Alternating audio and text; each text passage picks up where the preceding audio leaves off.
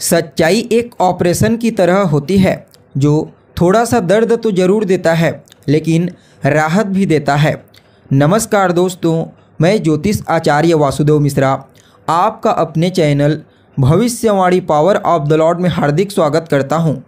दोस्तों, आज का यह ज्योतिष का कार्यक्रम आप लोगों के लिए, यानी कि वृषभ राशि वालों के लिए, बेहद ही ज़्यादा खास और महत्वपूर्ण कार्यक्रम साबित होगा आज बात करेंगे आपके मासिक राशिफल के बारे में।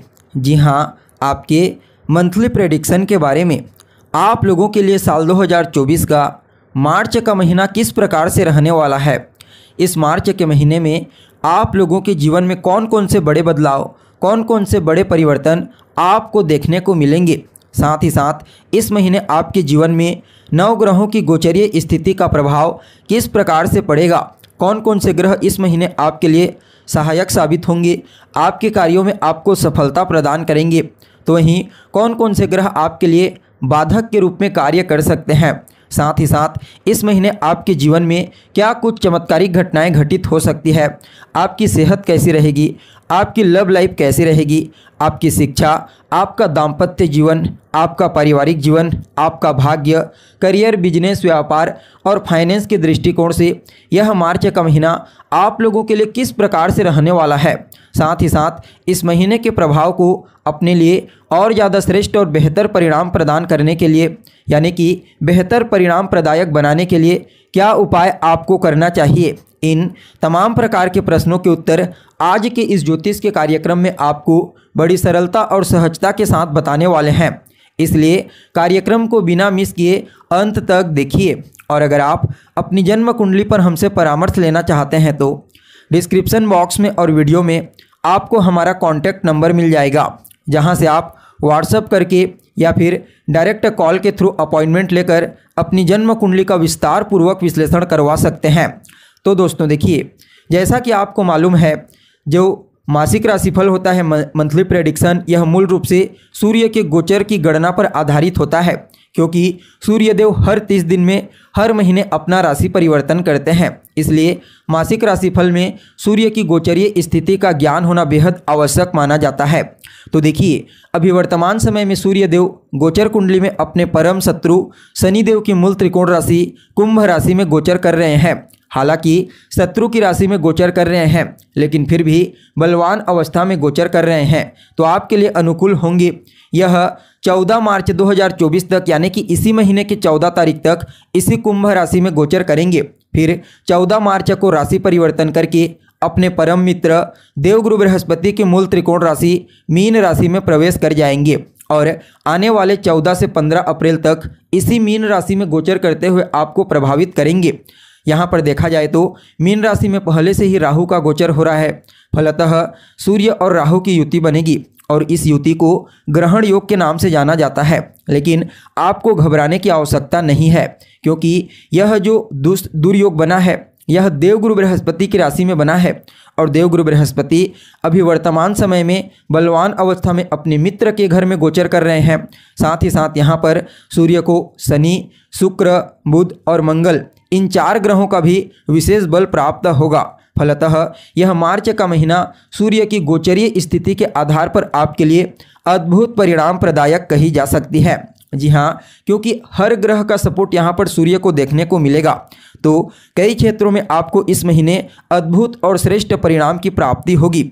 अगर सामान्य दृष्टिकोण से देखा जाए तो आप सभी वृषभ राशि वालों के लिए यह जो मार्च का महीना है, यह आपके करियर के दृष्टिकोण से, आपके बिज़नेस व्यापार के दृष्टिकोण से बड़ा ही महत्वपूर्ण महीना साबित होगा।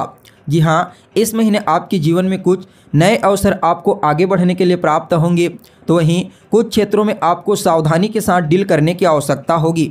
यानी कि कार्य क्षेत्र में बिज़नेस व्यापार में उतार चढ़ाव का सामना आपको शुरुआत में ही करना पड़ेगा। हालाँकि आपकी जो आमदनी होगी, यानी कि आपकी आय, वह काफ़ी मज़बूत होगी। फलतः जो भी उतार चढ़ाव कार्य क्षेत्र में होंगे, उसका अनुभव, यानी कि उसका नेगेटिव इफ़ेक्ट आपके ऊपर नहीं पड़ेगा, क्योंकि धन की जो स्थिति है, वह काफ़ी मज़बूत रहेगी।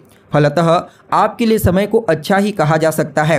देखा जाए तो इस मार्च के महीने में परिवार वालों के साथ आप समय व्यतीत करेंगे। कहीं ना कहीं परिवार वालों के साथ घूमने फिरने जाने का मौका आपको मिल सकता है। आपके घर परिवार में कोई धार्मिक क्रियाकलाप की रूपरेखा तैयार हो सकती है। साथ ही साथ भाग्य का साथ आपको मिलेगा और कहीं ना कहीं अपने वरिष्ठ जनों अपने से बड़ों का आशीर्वाद मिलेगा। और यह समय आपके करियर में भी आपको विशेष सफलता तो देगा ही देगा। साथ ही साथ आपके सोचने, समझने की शक्ति, आपके विवेक और आपके ज्ञान को भी यह महीना मजबूती प्रदान करने वाला कहा जा सकता है। हालाँकि आपके प्रेम संबंधों में थोड़ा तनाव और टकराव की स्थिति आपको देखने को मिलेगी, लेकिन वैवाहिक जीवन की स्थिति काफ़ी बढ़िया नज़र आएगी।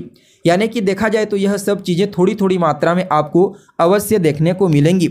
यह तो हो गई कुछ सामान्य जानकारी। अब हर एक चीज़ के बारे में एक एक टॉपिक पर विशेष चर्चा करते हैं।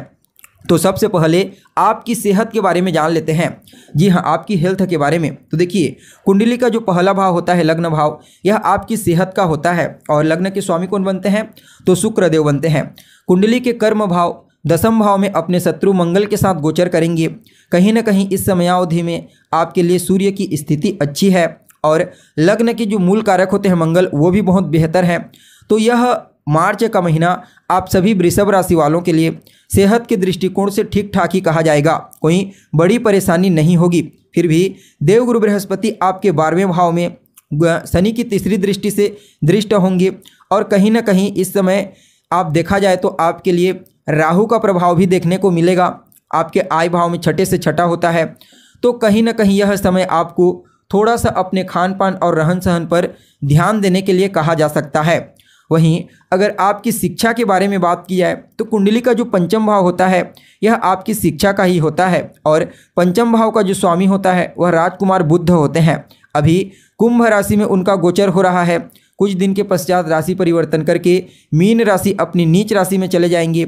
सात मार्च को तो ऐसे में सात मार्च तक का समय तो अच्छा है आपकी शिक्षा के दृष्टिकोण से।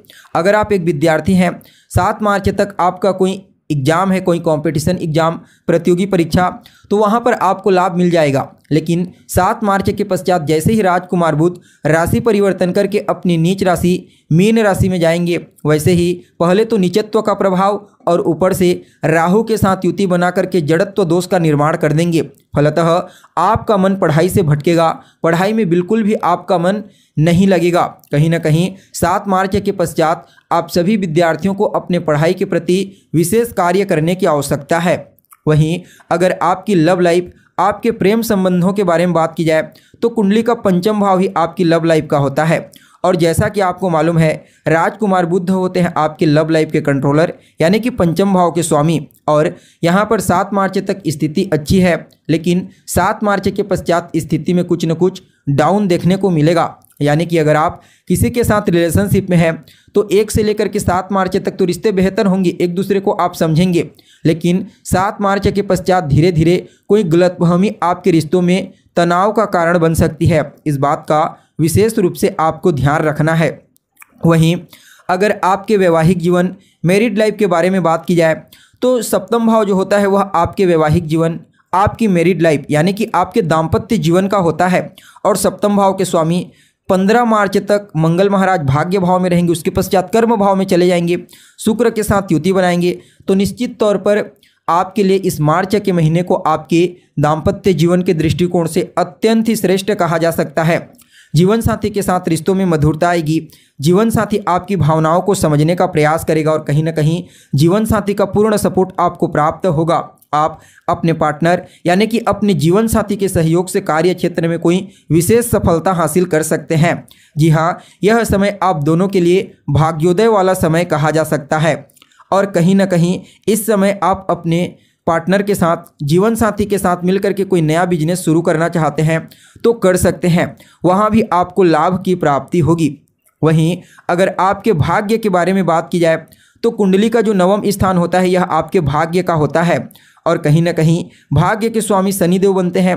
कर्म भाव, यानी कि दसम भाव में मूल त्रिकोण राशि कुंभ राशि में बलवान अवस्था में ट्रांजिट कर रहे हैं और भाग्य का कारक, अति विशिष्ट कारक, यानी कि सूर्य और गुरु, ये दोनों के दोनों भी बलवान हैं।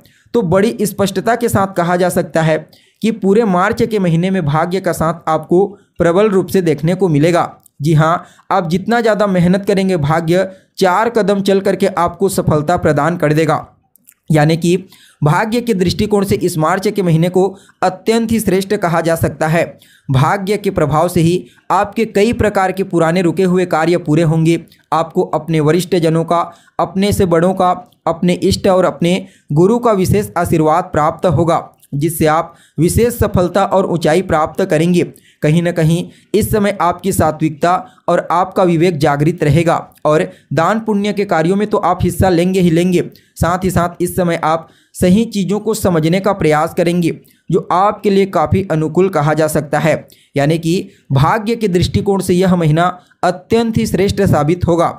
वहीं अगर आपके करियर और बिज़नेस व्यापार के बारे में बात की जाए तो कुंडली का जो दसम स्थान होता है यह आपके करियर का होता है और सप्तम भाव, बिज़नेस व्यापार का। आपके करियर के स्वामी कौन बनते हैं? तो शनिदेव, बलवान अवस्था में, करियर भाव में ही, यानी कि कर्म भाव में है, और लाभ भाव में गुरु। कहीं ना कहीं यह समय आपके करियर के दृष्टिकोण से अत्यंत ही श्रेष्ठ कहा जा सकता है। आप जो भी काम कर रहे हैं, वहाँ पर आपको लाभ और सफलता की प्राप्ति होगी। कुछ नई योजनाओं के तहत आपको कार्य करने का मौका मिलेगा। और कहीं ना कहीं व्यापारियों के लिए भी इस मार्च के महीने को श्रेष्ठ परिणाम प्रदायक ही कहा जा सकता है, क्योंकि सप्तम भाव का स्वामी मंगल अपनी उच्च राशि में गोचर करेंगे, फिर शनिदेव के साथ युति बना करके गोचर करेंगे, शनिदेव की ही राशि में तो निश्चित तौर पर आपको अपने बिज़नेस व्यापार में भी विशेष सफलता और लाभ की प्राप्ति होगी। चाहे आप किसी भी प्रकार से कोई भी बिज़नेस व्यापार क्यों न कर रहे हो तो वहीं अगर आपकी आर्थिक स्थिति के बारे में बात की जाए तो देखिए, कुंडली का जो एकादश स्थान होता है, यह आपके लाभ का होता है। जहाँ पर गुरु अच्छी स्थिति में है, कहीं ना कहीं दूसरा स्थान जो होता है, वह आपके धन का होता है। तो यहाँ के स्वामी भी बुध अच्छी स्थिति में है। तो काफ़ी बेहतर कहा जा सकता है आपके लिए इस मार्च के महीने को आर्थिक दृष्टिकोण से, क्योंकि पैसा आपके पास बड़ी मात्रा में आएगा भी और पैसा संचित भी होगा। फलतः पैसों को लेकर के कोई भी आपके मन में चिंता नहीं रहेगी। कुल मिलाकर के देखा जाए तो आप सभी वृषभ राशि वालों के लिए यह जो मार्च का महीना है अद्भुत परिणाम प्रदायक साबित होगा। धन के दृष्टिकोण से तो कहना ही नहीं, फिर भी इस महीने के प्रभाव को और बेहतर बनाने के लिए रोज़ाना आप केसर का तिलक लगाइए या फिर चंदन का तिलक लगाइए। इसके साथ ही गुरुवार के दिन मंदिर में जाकर के चने की दाल दान दीजिए और शुक्रवार के दिन घोड़े को चने की दाल खिलाएँ। इसके अलावा गणपति अथर्व शीर्ष और श्री सूक्त का पाठ आप रोज़ाना कीजिए। यह मार्च का महीना आपके लिए अद्भुत परिणाम प्रदायक साबित होगा। तो दोस्तों, हमें उम्मीद है जानकारी आपको पसंद आई होगी। अगर जानकारी अच्छी लगे तो लाइक कीजिए, शेयर कीजिए और हमारे चैनल को सब्सक्राइब कीजिए। तो चलिए, फिर मिलते हैं एक नए और ताज़ा एपिसोड में। तब तक के लिए आप हमें इजाज़त दीजिए। नमस्कार।